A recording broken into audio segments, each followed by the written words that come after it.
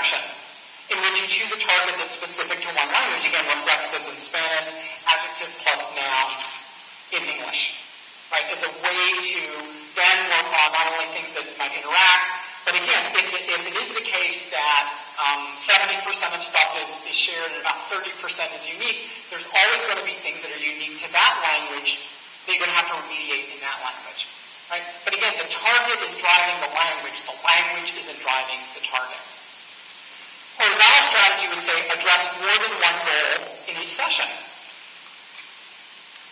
Bible would correlate. So you might have a stronger interaction perspective and a weaker one. The stronger would say target the same goal in language A and language B. So work on plurals in Spanish for 10 minutes, do a break, and then work on plurals in English. Right? Again, it's a way to build up that common thread between the two. Uh, maybe interaction is target one goal in language A and a different goal in language B. So targeting ing in English and past tense in Spanish. Okay? So the target is driving which language you're doing and whether you're going to take a stronger or weaker interactionist perspective. Cycles approach or cyclical strategy, you address a number of goals in a cyclical fashion but only one goal is incorporated at a time. Okay, so this is somewhat different than the horizontal strategy, where you may be working on multiple goals at the same time. Cyclical, usually you work on one. So in terms of uh, how this works with bilinguals, stronger versus weaker interaction, same as vertical, but you rotate not only the targets, but also the languages. So, for example, month one, you might work on plural S in language A and present progressive in language B. In month two, you work on present progressive in language A and plural S in language B. And again, the, the time frame here is, um, you, you, know, you, you might want to modify. There's, there's nothing, I think, evidentiary about one month or, or two months. This sort of harkens to Hodson Cycles approach, where I think most of their work is done in three to sort of six month intervals because it conforms to the university calendar, which some of you may be on, but some of you may not be on. So regardless of one and two, monitor interaction or generalization within and across the two languages. Because hope is not a strategy. Okay? Billy Beane, General Manager of the Oakland Athletics. During the break or over a beer at the pool, I'll tell you why the Oakland A's are my favorite baseball team. So, we can't hope and pray that generalization is going to take place. Okay? My theory is if, if we're taking interactionist perspective, then generalization is going to occur more likely than not because we're leveraging what the kid knows in each of the two languages. Monitor the interaction. So monitor skills within each language by uh, determining efficiency, effects, and effectiveness. That is, we need to be sure that when kids change, it's a result of the therapy we're doing and not something else. Uh, hoping. So efficiency, determine how long it took for the client to achieve the goals. So look at number of treatment sessions, for example. Determine how much, how much effort we needed to facilitate change. How many people see typically developing kids on a regular basis? I mean for therapy, but I just mean you interact with, you're in, in the presence of typically developing. What's the most amazing thing about typically developing kids? Oh. You've met my nine-year-old. I think the other thing that's amazing is how fast they learn. And I always give the, the example of my nine-year-old who went from 0% correct on R in three weeks to 90% from zero to 90 in, in three, three weeks. And I have the diary to prove it if you ever want to see it. I know, a little creepy, huh? When you're researching you have kids, that's, that's, that's why I have two kids, is to, to study the language. Who doesn't? My, what effort did I have to make for her to produce R?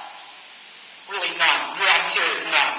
I was close though. She was she had, I was uh, over six, and I was getting a little worried that she wasn't. But I never I never put her in therapy with me or anybody else. But the amazing thing was I didn't have to do anything to get her to produce R. And that's to me the most amazing thing is about typically developing kids. They learn quickly and they do not need many repetitions to get good at whatever skill it is they're they're learning. It's also why my 11 year old can probably text quicker than anybody in this room. Yeah. On one hand. Right. And IMing on the other hand and, and texting with, with the other. But it's just so rapid. I think, you know, seeing things in the gestalt that, that we simply don't do. So we want to look at how hard did we have to work and how quickly did the kids acquire whatever it is that we're, we're teaching them. Again, it also says something about prognosis and the type of therapy that we want to do as well.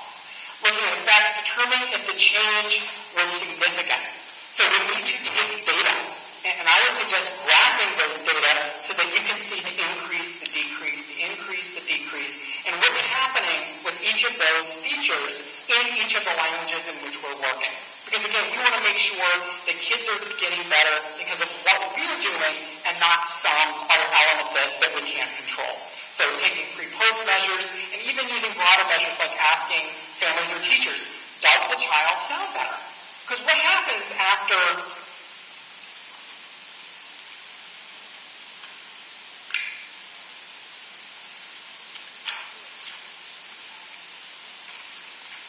we always say that the most important skill a speech pathologist has is flexibility.